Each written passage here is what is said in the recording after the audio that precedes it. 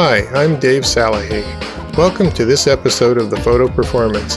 In this series of podcasts, I cover the digital processing tools and techniques that comprise the photo performance in the 21st century. These podcasts and posts provide in depth reviews which are hard to find elsewhere on the web. After watching this podcast, please visit my website, photoperformance.org, and add your comments and questions. And if you find something useful here, please share it on your favorite social media platform. In part one, I briefly mentioned Adobe Bridge, which is, of course, part of the Creative Cloud. However, it later occurred to me that I ought to point out that the Creative Cloud also includes a new version of Adobe Camera Raw, which has been significantly enhanced.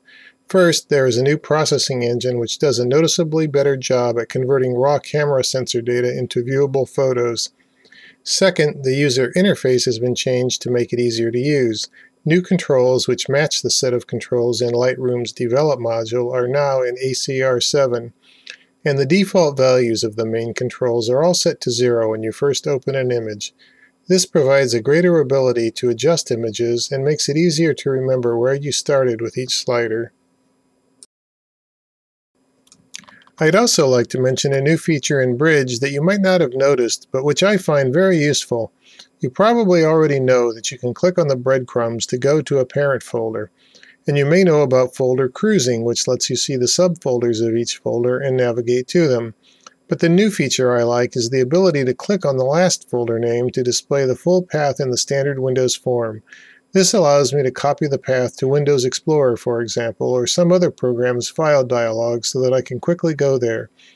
Or if I'm already in a folder in Windows Explorer, I can copy the path from there and paste it into Bridge to go straight to that folder in Bridge.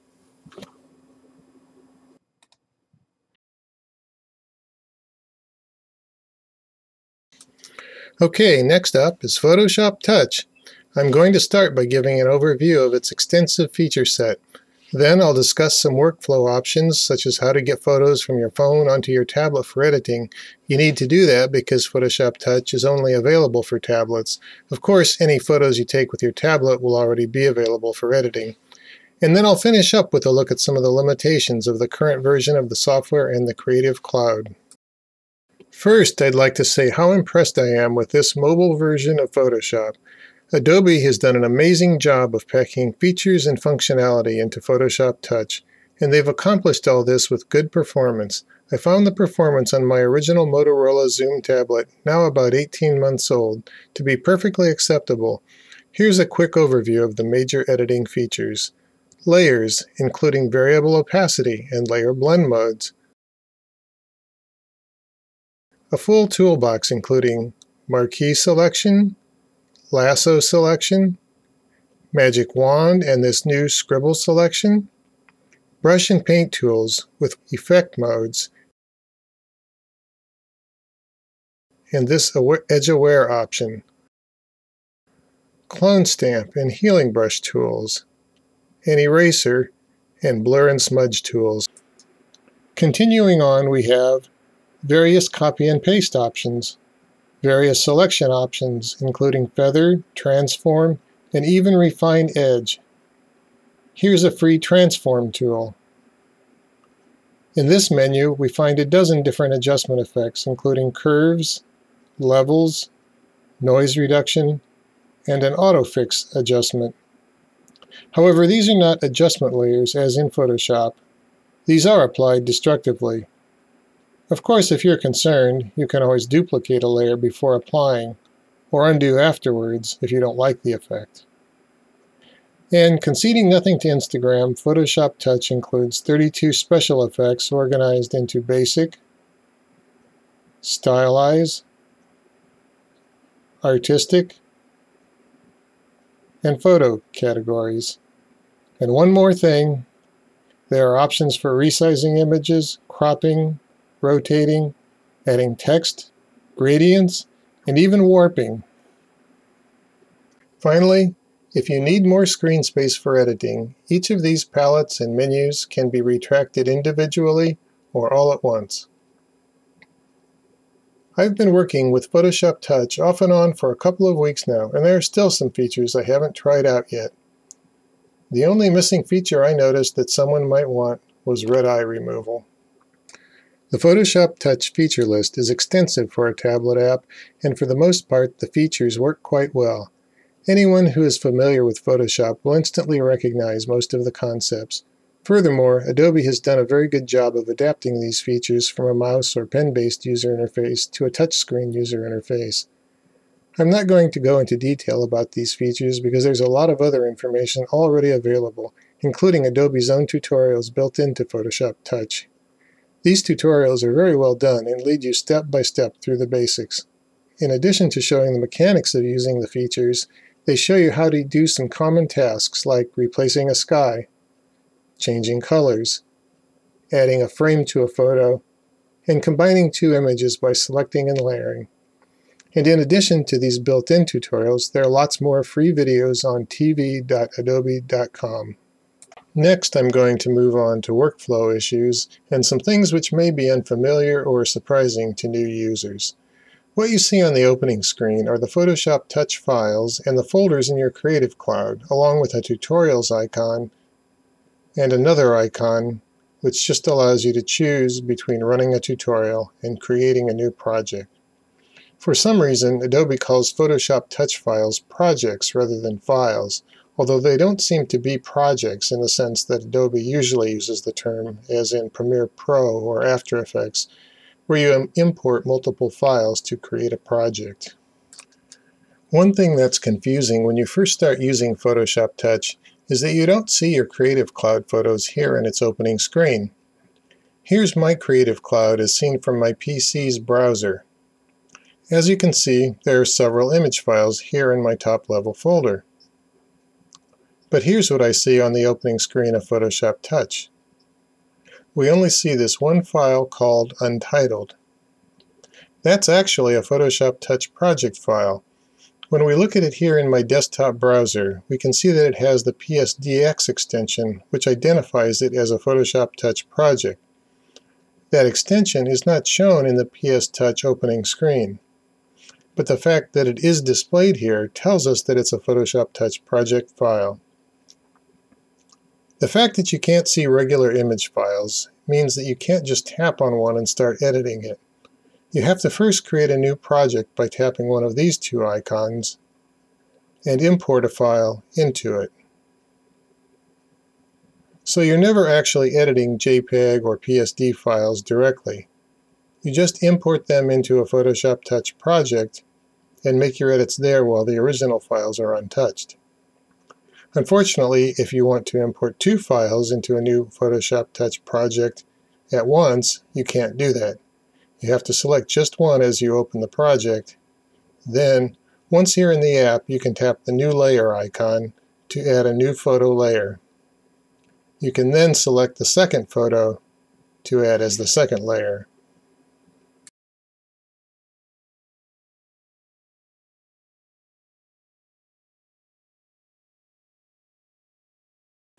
Okay, so now we know how to create a project and import files. Where can we import files from? Currently there are five places we can get images from. The Creative Cloud, naturally. Photos that are already on your tablet.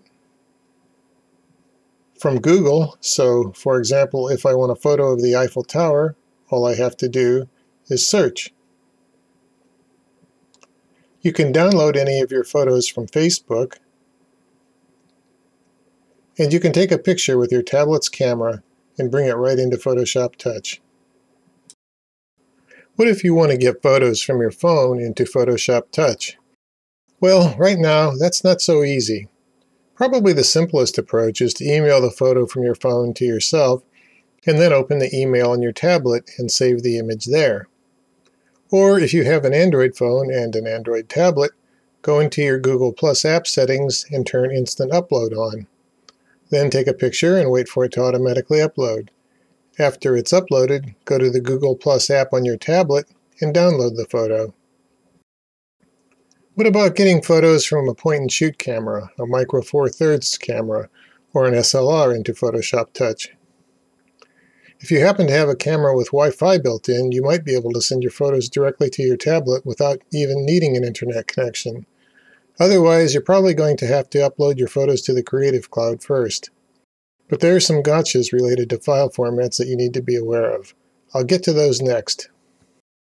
There are several file format compatibility problems with the Creative Cloud and Photoshop Touch. One problem is that the Creative Cloud doesn't display layers in TIFF files.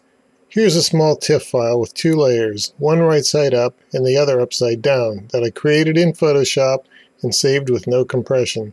However, as you can see, the layers icon is missing for this file. Another problem is that you can't preview media files such as QuickTime, audio WAV files, or MPEG files. Creative Cloud does show poster images for movies, but that's all. And for some reason, you're not allowed to share MPEG-4 files, although you can share QuickTime files and WAV files. I'm going to move on now to file issues specifically with Photoshop Touch. First, I need to point out a file size limitation in Photoshop Touch. By default, the largest image you can edit is 1600 by 1600 pixels. But you can change the maximum allowed file size to 2K in the settings. I wouldn't call this size limitation a problem, although some others have. Myself, I'd say that's a reasonable limitation that's been imposed in order to ensure good performance in both editing and uploading and downloading. However, this is something you need to be aware of because it means that larger images will automatically be reduced in size when they are imported into Photoshop Touch. And there's no warning, they just get resized silently. If there is a problem with this size limit, I think the problem is that there's no notice of the fact that your image is being resized. This is especially true because the Creative Cloud doesn't show you the resolution of your Photoshop Touch projects. That's odd because the resolution of regular image files is shown, at this point, I'm going to wrap up part two of this series of videos, the Adobe Creative Cloud for Photographers. I had originally been planning this as a two-part series, but as I've gotten into it, I've discovered that there is more material than I can fit into two parts, so I'm expanding to three parts. In the third part, which I hope to post within a couple of weeks, I'll cover the following topics. Exporting from Photoshop Touch to your tablet's gallery, to Facebook, to email and the Creative Cloud, I'll give some more information on file format limitations. I'll have a discussion of some quirks in the user interface. And I'll close with some thoughts about who is the target audience for Photoshop Touch and the Creative Cloud, so check back in a couple of weeks for the latest video in this series. Thanks for watching this episode of The Photo Performance. I hope you learned something interesting and useful today. Please visit photoperformance.org for more photo processing news and reviews. Follow me on Twitter or on Google+, and please share this info through your social media networks.